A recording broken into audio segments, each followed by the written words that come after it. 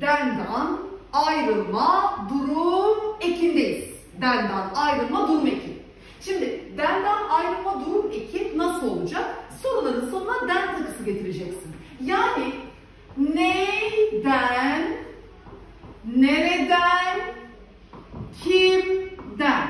Bu sorulardan birini soracaksın. Tamam mı?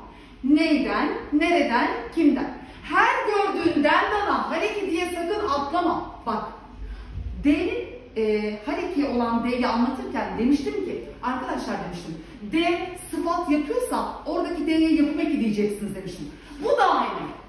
Den sıfat yapıyorsa oradaki D'ye yapım eki diyeceksin. Şimdi örneği veriyorum. İyi dinle.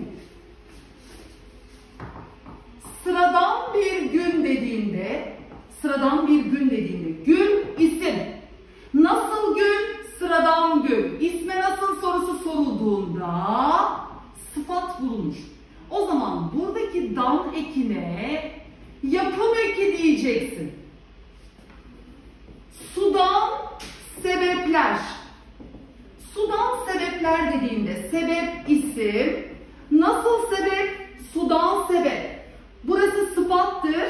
O zaman buradaki dan nedir? Yapım ekidir.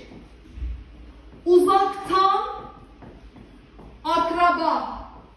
O bizim uzaktan akraba. Akraba isim. Nasıl akraba? Uzaktan akraba. Burası sıfat. Fıstıkça, ketçap, fıstıkça, ketçap. Benzeşmeden dolayı tam diye yazıyorum. Dikkat et. Oradaki dan sıfat yaptığı için nedir? Yapım ekidir. Unutma sakın. Sıfat yapıyorsa yapım eki olarak alacaksın. Peki, peki. Bak mesela sudan kelimesi. Sudan kelimesini şöyle bir cümlede kullansam. Bu sudan sakın içmeyin. Bu sudan sakın içmeyin. Neyden içmeyeceğiz? Neyden? Neyden? Bu sudan. Oradaki dan hal ekidir. Hal eki.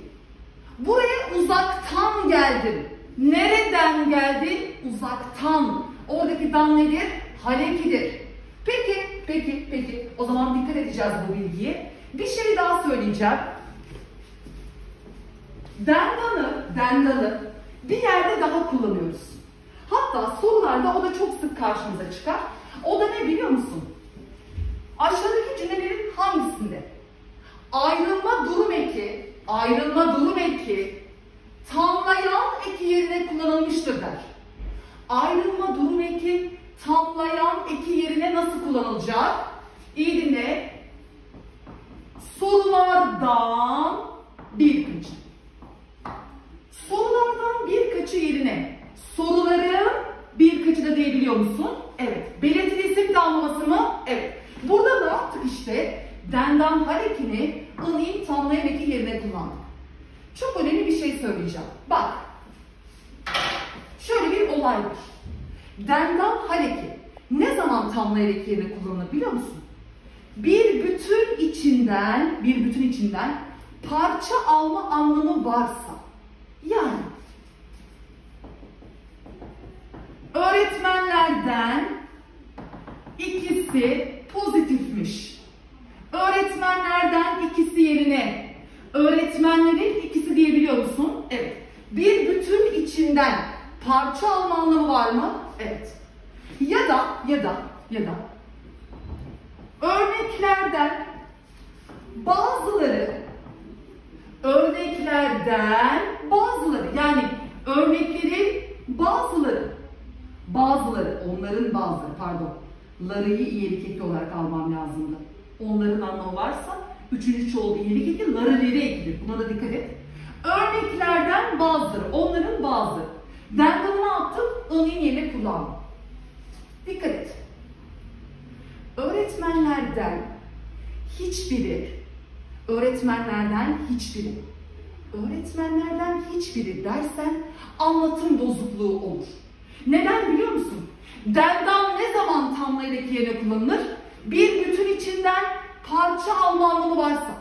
E sen öğretmenlerden hiçbiri diyerek bütünden parça almıyorsun ki. O zaman dendanı ın inek yerine kullan. kullanamazsın. Bu bir anlatım bozukluğu oluyor. Yanlış ek kullanmış oluyorsun. Bak öğretmenlerden ikisi desen olur. Öğretmenlerden birkaçı desen olur. Ama öğretmenlerden hiçbiri olmaz. Orada denekini yanlış kullanmış olursun. Evet, denle ilgili söyleyeceklerim bunlar. Şahane bilgilerdi. Beğeneceksin. İşine yarayacak. Kanalı takip etmeyi, abone olmayı unutma.